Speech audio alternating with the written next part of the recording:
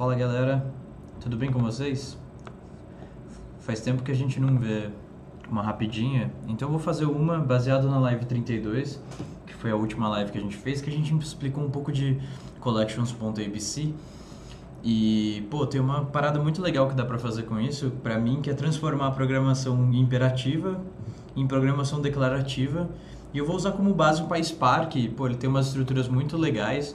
Então vamos ver como é que isso funciona, pô, e dá pra transformar o nosso o nosso container de uma maneira muito mais abstrata de se programar e muito mais prazerosa. Então vamos fazer aqui, por exemplo, vou chamar de declarativo.py e a gente vai fazer o mesmo esquema que a gente fez na live usando collections.abc. Então from collections.abc import mutable sequence.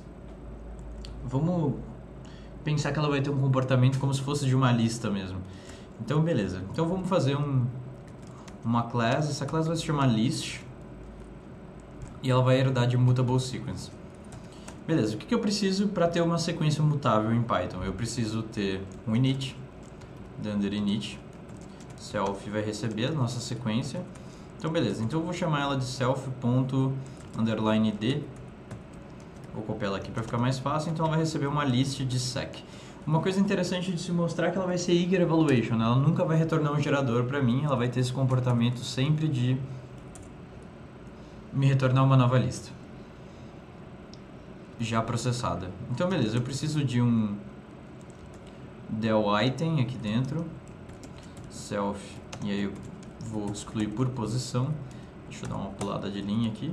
Então self uh, del a posição. Aqui é pos, não posso. Deixa eu aumentar um pouquinho a fonte. Então, beleza. E aí, se eu quiser, por exemplo, eu preciso ter um iterador aqui, então o getItem. E o getItem vai receber self e posição também. Aí dá um return tal de posição. A gente precisa ter um setItem Opa, set item. E o set item vai receber self, vai receber, deixa, vai receber o valor que a gente vai usar, a posição e o valor, posição e valor. Deixa eu só corrigir isso aqui que ficou errado. Del. Beleza, então o setItem ele vai usar a minha estrutura, vai inserir em determinada posição o valor que eu passei para ele. Beleza, eu também preciso definir um len para ele, então self, e ele retorna o len do tamanho da minha sequência. Beleza. Mutable sequence precisa de um insert, então insert, então self e posição e valor. E ele pega a minha sequência e dá um ponto insert na posição com valor. Será que a gente precisa de mais alguma coisa aqui? Vamos pensar.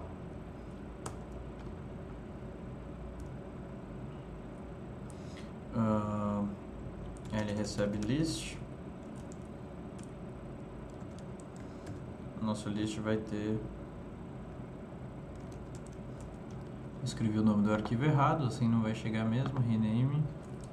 Declarative. Beleza. Agora vai.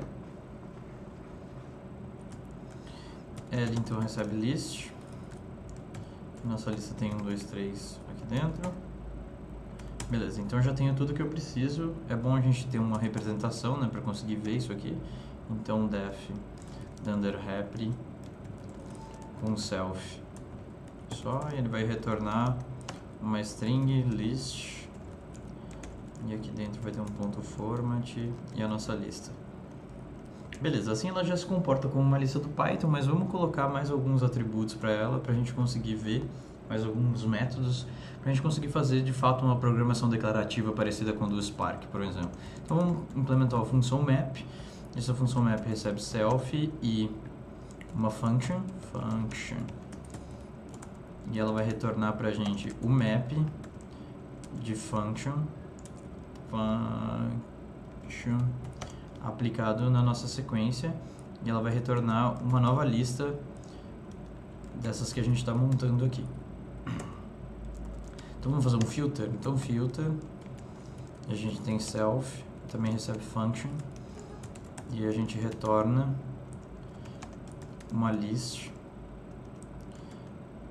de filter, filter, function e a nossa sequência.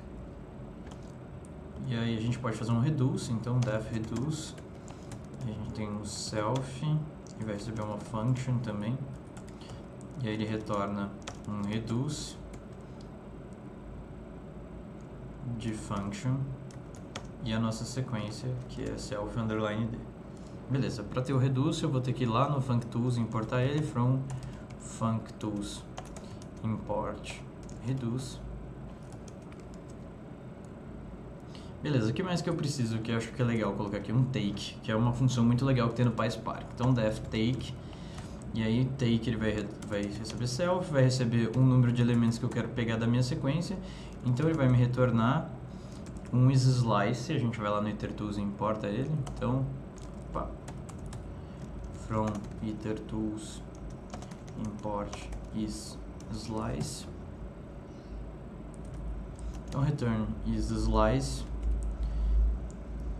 E aí ele pede primeiro o iterável, que é esse aqui, o número de valores que eu quero fazer e ele vai me retornar uma nova list dessa minha estrutura também.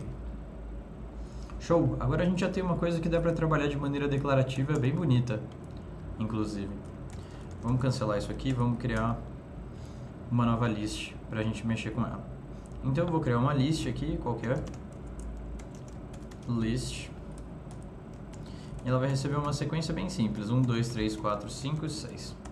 Beleza. L é essa lista nossa 1, 2, 3, 4, 5, 6. Eu não gostei da representação. Eu vou, porque ele ficou... Agora acho que vai ficar mais bonito. Mas, vamos rodar aqui.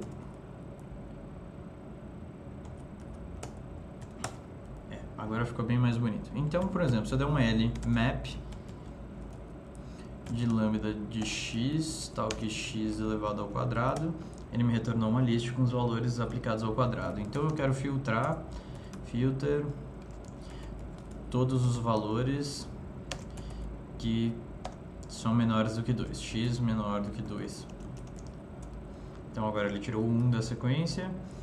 E aí agora, o que mais que a gente tem aqui? A gente tem o reduce e o take. Então eu vou dar um take. E eu só quero os três últimos elementos. Os três primeiros, na verdade. Então eu vou remover esse aqui que achei que ficou pequeno demais. Então vamos colocar aqui um filtro dos menores de 8. Beleza, agora eu tenho os três maiores valores, vou dar um map aqui, um lambda de x, tal que x elevado ao quadrado de novo. E aqui eu vou dar um take, pegar os menores de 100, por exemplo. Eu vou dar um filter, filter, filter, lambda de x, tal que x. Vou pegar x só os maiores que 100. Agora eu tenho só esses dois elementos, eu vou dar um reduce e eu vou multiplicar os dois números, por exemplo, x e y, tal que x vezes y. E agora ele me deu 160 mil. Isso é uma coisa interessante porque essa estrutura ela vai funcionar independente de eu mudar o número do take aqui, por exemplo. Se eu mudar o take para 2, Agora ele funcionou. Mas como ele leva um ao outro, o valor que ele trouxe aqui nesse take, por exemplo, foi menor, então 9 e 16. Enquanto a gente estava trabalhando antes com 3, ele estava trabalhando com 9, 16 e 25. Como ele pega o início da sequência, pois se a gente quisesse fazer o reverso disso, por exemplo, eu poderia dar o list aqui, e dizer para ele que eu quero, por exemplo, no take, a posição invertida. Vamos pensar que eu quero a minha lista invertida, menos 1. Será que vai funcionar? Vamos declarar de novo aqui. Preciso declarar a lista. E agora ele só me deu 25, que é o terceiro valor, literalmente. Não funcionou, mas era isso que eu queria mostrar pra vocês. Pô, isso aqui pode ficar muito gostoso de trabalhar sem que a gente tenha feito bastante coisa. List no has attribute map. Mas o map tá aqui? Tá. Ué, o que, que aconteceu aqui agora?